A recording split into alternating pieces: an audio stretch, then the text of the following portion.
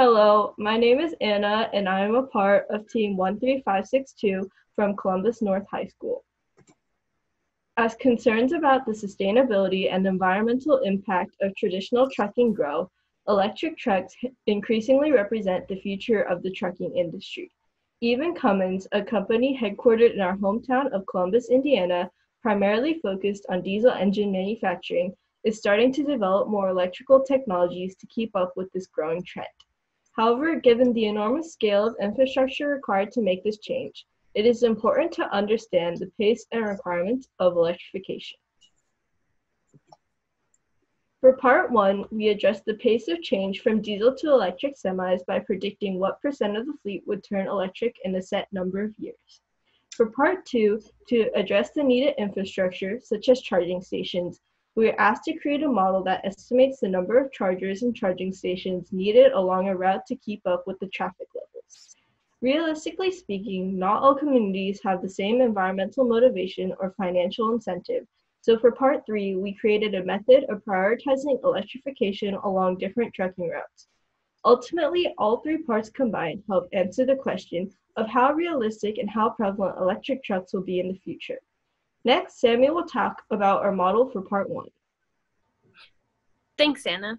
In part one, we were asked to predict how many electric semi trucks will be on the road in 5, 10, and 20 years. To tackle this problem, we applied extrapolated data to create a model for the demand of electric trucks, further relating this to the amount of electric trucks on the road through a differential equation. In order to find the difference in the cost of diesel and electric semi trucks, we first had to model the costs for each type of truck.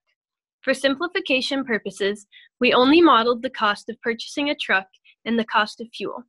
We assumed all other variables would be similar between electric and diesel semi trucks.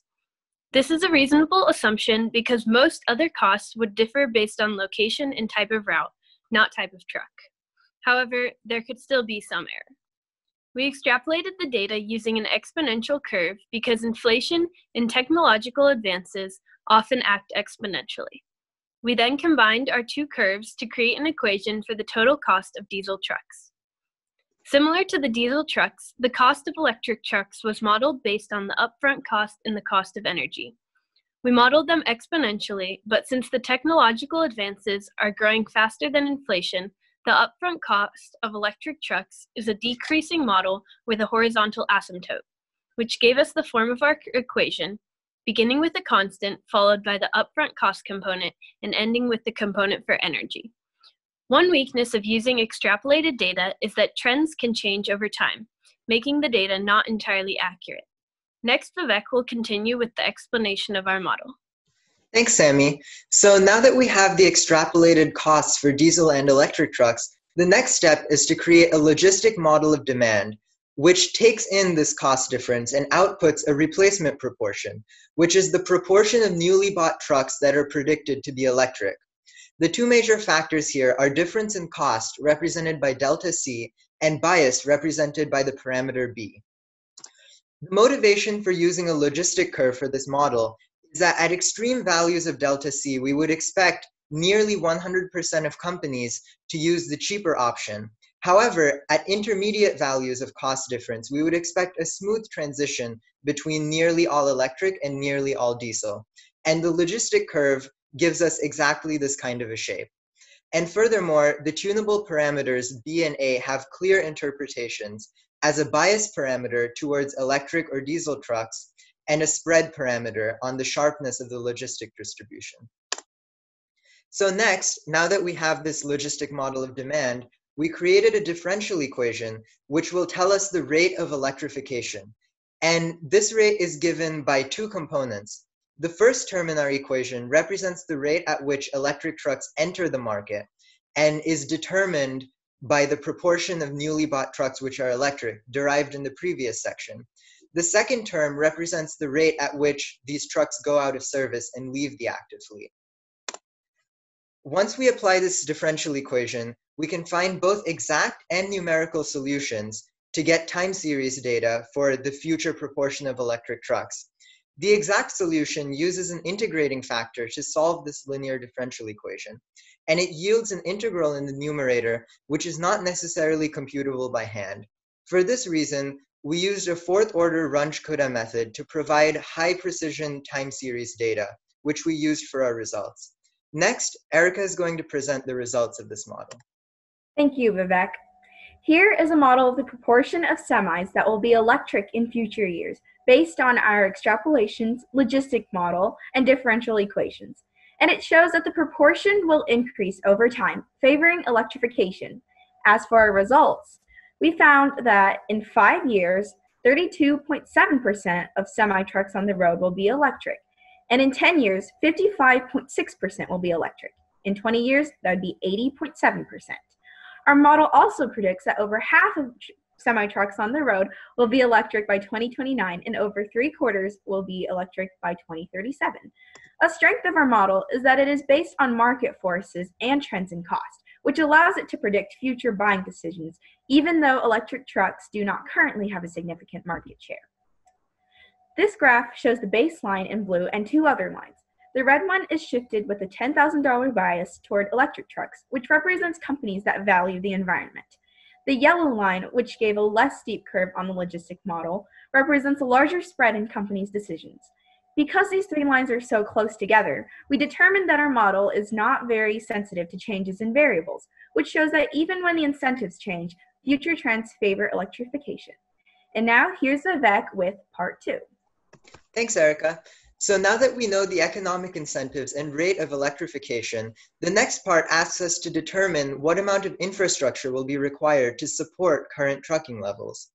So our basic approach for this part is based on balance of energy, the idea that a truck's daily energy usage must be equal to its average daily energy consumption. And this principle is sufficient to derive the total number of chargers needed on any route.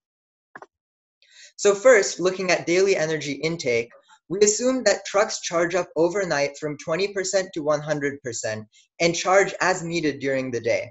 And these are reasonable assumptions because the recommended range for the truck batteries is 20 to 80%, However, during the night, since there's unlimited time to charge, it makes sense to charge it all the way up to 100%. So given these two things, the daily energy intake is 80% of the battery capacity plus the time spent charging during the day multiplied by the charging rate. Similarly, we can quantify daily energy usage based on E of V, which is the energy consumption of one truck as a function of its velocity in kilowatt hours per minute. And given this, the daily energy usage is simply the time spent driving multiplied by the value of E of V for the average highway speed of a truck. And these two things are, of course, equal because the intake has to be equal to the usage. Next, we can look at chargers needed by expressing truck minutes spent charging on a route in two ways. The first way is to multiply the number of trucks on a route every day by the time each truck spends charging. The second way is to multiply the total number of chargers by the amount of time each charger is in service during the day. And so equating these two things gives the first equation on this screen.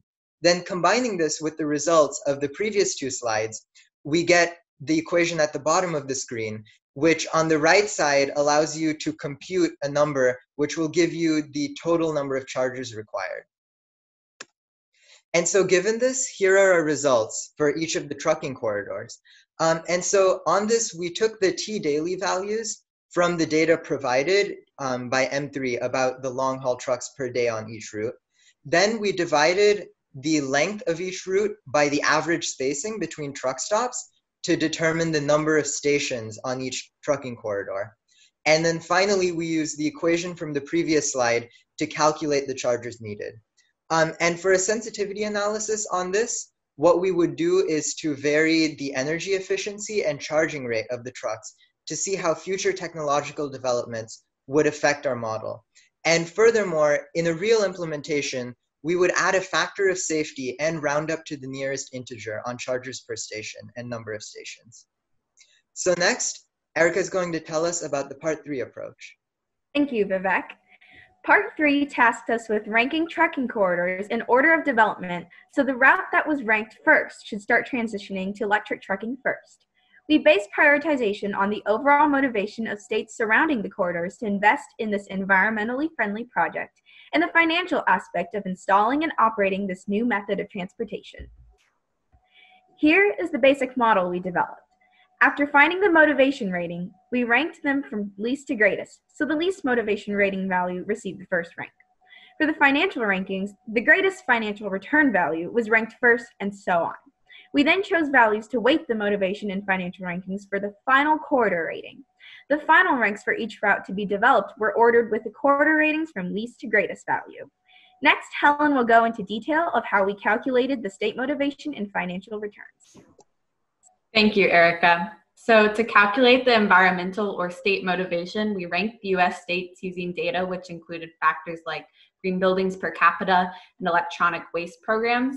In our model, a lower rank corresponds to a state that cares more about the environment. So using the information provided by M3 about each route, we then calculated each state's environmental rank based on the proportion of the route in that state. So we then modeled the financial motivation, which we did using the expected financial return or profit minus installation. The installation is simply the number of chargers multiplied by 52,000 because that is the average price of a DC-FC charger. So we then calculated the operational profit, assuming the company aimed to make the same profit off an electric truck as they do a diesel truck.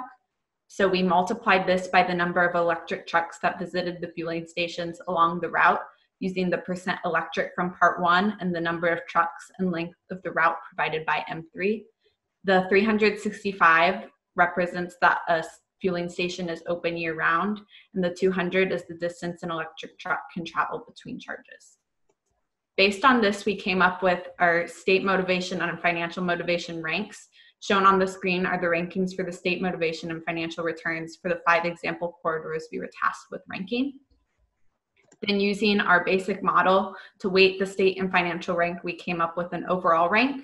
We chose to weight the environmental slash state motivation at 0.1 and the financial motivation at 0.9 because generally a financial return is favored and prioritized in making a decision, although we intend for the parameter to be changed by the user to accurately represent their concerns.